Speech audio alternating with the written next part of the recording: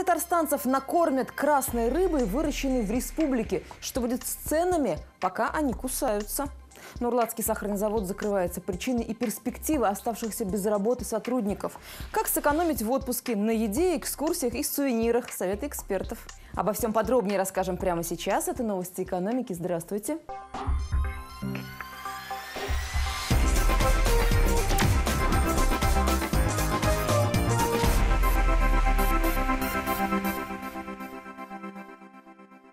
Татарстанцев будут кормить красной рыбой собственного производства. Собственного – это выращенного в Зеленодольском районе. Там появится ферма по производству форели. Планы символичные. 100 тонн красной рыбы к столетию Татарской ССР. Эту дату будем отмечать этим летом. К слову, в республике, в Лаишском районе уже есть два рыбзавода. Там выращивают стерлядь. В марте собираются заложить третью очередь завода. Обойдется это в 300 миллионов рублей. Не факт, что вся рыба останется в республике. Выйти на российский рынок, продавать ближайшим соседям. Такие объемы производства тоже позволяют. Тем более дефицит лососевых на прилавках магазинов сегодня ощущается по всей стране. Хотя и объемы производства в России потихоньку наращивают. Примерно на 10% в год. В прошлом году вырастили 90 тысяч тонн, но этого все равно мало. И поэтому в условиях дефицита красная рыба остается одной из самых дорогих. Например, в Казани 1 килограмм форели охлажденной, привезенной из Мурманска, в среднем стоит от 500 до 700 рублей. Стерлядь 950 рублей, лосось свежий охлажденный 1000 рублей за кило. 188 человек остались без работы в Нурлатском районе. Те, кто трудился на местном сахарном заводе. Его закрывают. Сейчас завод на консервации. На прошлой неделе, когда президент Рустам Миниханов приезжал в Нурлат, он высказался по этому поводу. Поручил никого из бывших сотрудников не оставлять без работы. Есть проблемы вот сахарного завода. Так получилось, что он не соответствует, не конкурентен, но очень внимательно надо посмотреть, что, как мы можем задействовать этих людей. Конечно, это прекрасные площадки, я думаю, э, у вас достаточно много хороших э, площадок здесь.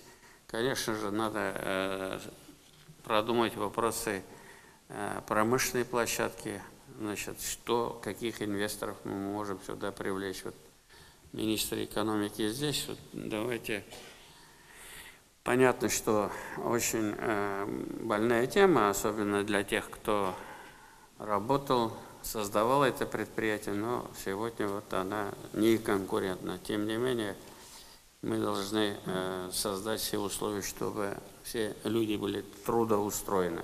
Два раза в неделю в местном центре занятости работает специальный консультационный пункт для бывших сотрудников Нурлатского сахарного завода.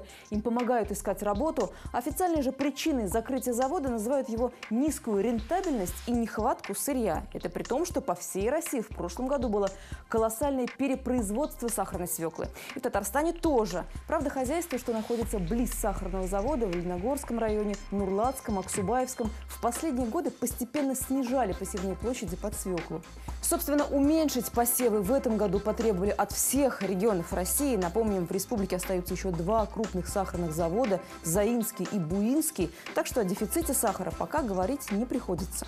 А вот цены остаются по-прежнему рекордно низкими. Один килограмм сахара в магазинах Татарстана сегодня в среднем стоит 25 рублей 43 копейки. Это данные Татарстан стата. За неделю сахар снова подешевел на 8 копеек. Впрочем, татарстанских хозяек, которые планируют варить варенье будущим летом, это может только порадовать. Как сэкономить в отпуске, узнали, подсчитали и сформулировали эксперты Нацбанка. Советы разместили на специальном сайте «Финансовая культура». Например, можно ходить на выгодные экскурсии. Часто в крупных городах проводят бесплатные обзорные экскурсии. В пунктах информации для туристов их график вывешивают под вывеской с большой латинской буквой «I».